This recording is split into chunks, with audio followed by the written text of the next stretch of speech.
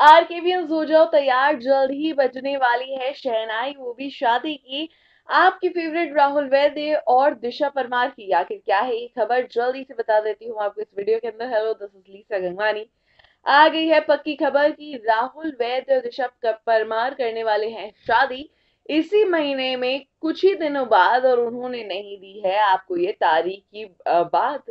क्या है ये पूरी बात? तो वो मैं आपको बताने जा रही हूँ। दरअसल 16 जुलाई को हो गई है राहुल और दिशा की शादी। जी हाँ दिशुल की शादी हो गई है 16 जुलाई को पक्की। यानी कि आज से सिर्फ़ 10 दिनों के अंदर शादी के बंधन में बंधने वाले हैं दिशा और राहुल।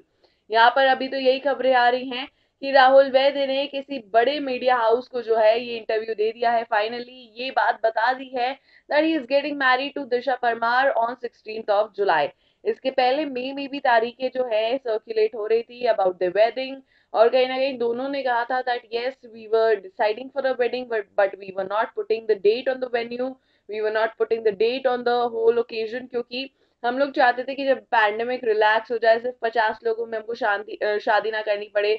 और सेकेंड वेव के बीच में तो ऑब्वियसली इट वॉज़ पॉसिबल कि लोग जाके शादी करें। लॉकडाउन लग चुका था दोबारा।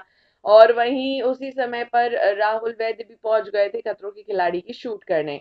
इसी के साथ हम आपको बता दें कि दिशा परमार और राहुल वैद्य ने इस बार फाइनलाइज कर ली है डेट 16 जुलाई।